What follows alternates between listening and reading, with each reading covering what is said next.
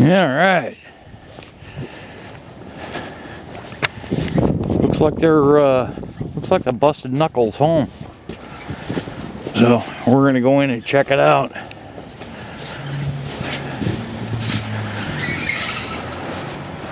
Hopefully the Injun's back. Maybe we can find out where the fuck he's been. Where the fuck you been, dude? We had a beer fucking deal last night. Well, I was on a mission. I just had to uh, muzzle Mike, and this uh, kind of pissed me off. So I just kind of went out and uh, figured I had a wild hair in my ass. My horse wasn't feeling good, so I took a hike through the trails, and uh, now I'm just cleaning up the aftermath. And uh, I was doing pretty good. I heard that garage door slide open, and then I had to take off like a striped ass customers on my butt. But here I am. I'm just making amends. And damn his ass. He ain't got me yet. And uh, yes, I'm out of arrows. There's one stuck up there somewhere in the ground that it went out before it got there, but God damn, you left. You had five in that fucker when it was hanging up over there. well, I shot two with one shot and set both ends of the wagon on fire. And uh, that's when that garage door slid open and I had the boogie and I took off and dropped and it I just beat beat Pete out of there. I'm just cleaning it up because don't want it to get still got a little smoke on it. You know, it's get that smoke off there and everything's cool. It'd be ready to go again here. So how'd you how'd you light the arrows? All right. So what exactly did you do, dude? What kind of shit did you do? I just got a wild hair in my butt and I set a wagon on fire and uh, went up and I figured how am I gonna do it? Well there was a can of gas sitting there and I had arrows and had Rapman brick and I said, Yeah baby, let's go. No shit. Was the gas can sitting outside the garage? Yeah, just like it was kind How of about the how about the rags? Yeah, they just they went yeah, I just pooper pooper right Were they red ones like that like that uh, tool set over there? Yeah. Really? No shit. Yeah, it was just like you know, like okay, I'm waiting on him.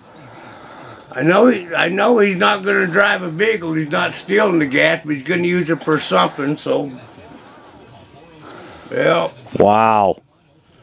Hey, you know, And he really pissed you off that bad because why did he piss you off? What what did what did Muzzle Mike do? All right. So why did he piss you off? What did he do? well, he was bitching about the judges and the cool points, and it kind of got under my, uh, which I still have my scalp. So I just took it out and says, okay, I'm going on. So hookity boogity, I just hooked it and I get up there and the gas was there and the rags. I said, oh, cool, baby. so, yeah. I mean, that's better than, Well, you can't say we didn't warn them. no, uh, they, if they would have looked at the, just put the summit down, they'd have seen the smoke signals and would have known that I was on my way. I when we were down here doing the beer challenge when you were on the mission last night, we were getting all kinds of phone calls and uh I was like, son of a bitch, he's getting smoke signals, high tech smoke signals on the phone and uh I was just like, what the fuck is going on? Where the fuck is he? Besides that uh, he's on a mission. So Yeah. you stirred up all kinds of hate and discontent in Pennsylvania. Well, you know, up there in Pennsylvania, they kind of have a thing about uh, some places still got the old wooden fences they set up and crossed them, you know, when they made when they had fences. Yeah. Well, I had to jump over one of those, which is no problem. Uh, but I got what I wanted. I got my revenge back. And um, So you burnt his wagon, honestly? yeah, both ends. No shit. Yep. How far away were did you have to loft the shot or was it just a straight in? No, I got close enough. I just had to loop it just a little bit. Just, Just- like kind of pitching a beer can over to the empty box. Well, that's pretty cool. Yep. That's a hell of a bow you got there, Injun. You ain't shitting, buddy. I tell you what. You burned a lot of wagons with that one, I'll bet. Yes, I have. You got the notches carved in it? Well, underneath. yeah, I'll bet you do. Right Yeah. down there. Yeah, Yeah, I right see there. that. Right there, I got what? Eight, eight, nine? Nine Looks like- 'em. Nine? Nine. Wow. And that one's done twice, so that makes ten. Well, that was nine and a half. It was just a little meat wagon. Little meat wagon, like an ambulance? Yeah, what they haul them. Ambulance? That's what they haul them off in. This little one.